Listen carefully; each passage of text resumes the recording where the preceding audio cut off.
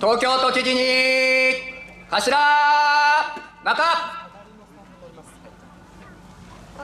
あこのまま行っていただいて大丈夫です直れ。整列休め。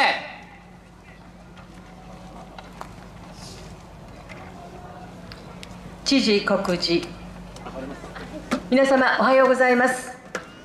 江戸町火消しの誕生以来300年余りもの歴史と伝統を受け継ぐ東京消防出初め式の開催を嬉しく思います。新年早々能登半島地震羽田空港での事故と大きな災害が相次いでおられおります。亡くなられた方のご冥福を心からお祈りするとともに被害に遭われた方々にお見舞いを申し上げます。羽田での消火活動では東京消防庁から過去に例のない115体もの部隊が出動し任務に当たりました。皆様のご尽力に感謝いたします。まさに災害はいつ起こってもおかしくありません。日頃からの備えと地域の力が困難を乗り越える上での何よりの支えとなります。今年も防災市民組織災害時支援ボランティア事業所の自衛隊、えー、自衛消防隊の皆様がご参加くださいました。地域防災の担い手として多大なるご協力を賜っている皆様に感謝申し上げます。1万8600人の消防職員2万2000人の消防団員の皆様は都民の生命財産を守るため昼夜を分かたず力を尽くされています。救急隊員の皆様はコロナが5類に位置づけられましても増加する救急要請に懸命に応え続けています。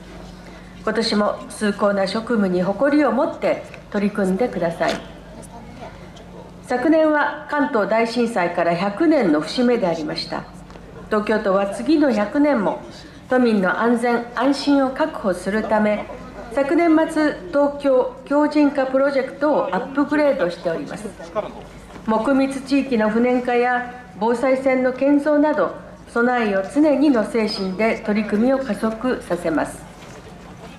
関東大震災は自助共助が重要な役割を果たすことを自助共助公助を三位一体三位一体で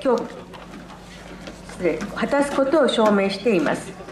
リニューアル化した東京暮らし防災と東京防災をよりどころに都民の皆様に自分や大切な人を守る知識と行動をしっかり身につけていただきたいと思います。自助共助公助を三位一体で強化しできうる備えを徹底的に講じてまいりましょう。また東京消防庁では増え続ける救急需要に応えるため救急隊を3隊日中の救急需要が多い地域でのデイタイム救急隊を4隊増強するなど救急出場出場体制を強化しています。安全安心が担保されてこそ人は生き生きと活躍し東京は大きな飛躍を遂げることができます。今年も力を合わせて誰もが輝く東京の未来を確かなものにしてまいりましょう。皆様のますますのご活躍を記念し告示といたします。令和6年1月6日東京都知事小池百合子。気をつけ頭中直れ。